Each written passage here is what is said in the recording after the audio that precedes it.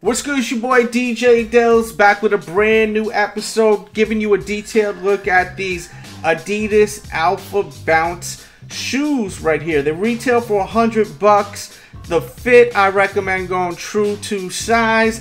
I like this colorway. This is the first colorway to release. It's got a real busy pattern on this synthetic upper and it continues on the midsole toward the front of the shoe and fading out to white toward the rest of your bounce midsole.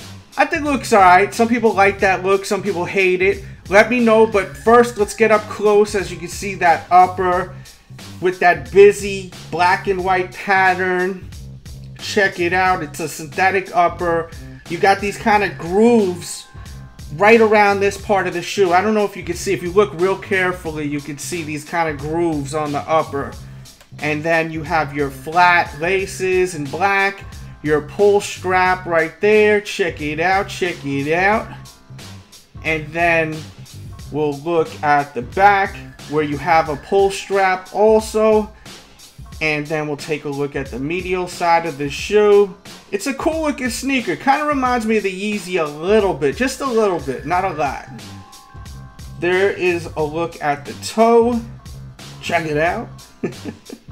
and then there is a look at the outsole, which, I mean, I don't really see such a great traction coming from this right here.